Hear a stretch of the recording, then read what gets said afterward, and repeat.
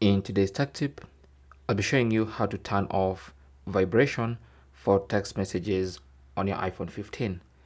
Now I have the Pro Max here, but this works on all the iPhone 15 models.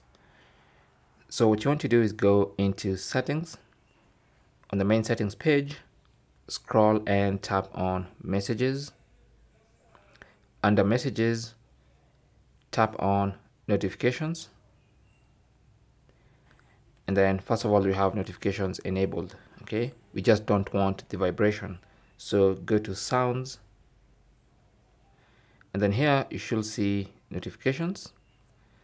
So these are the sounds.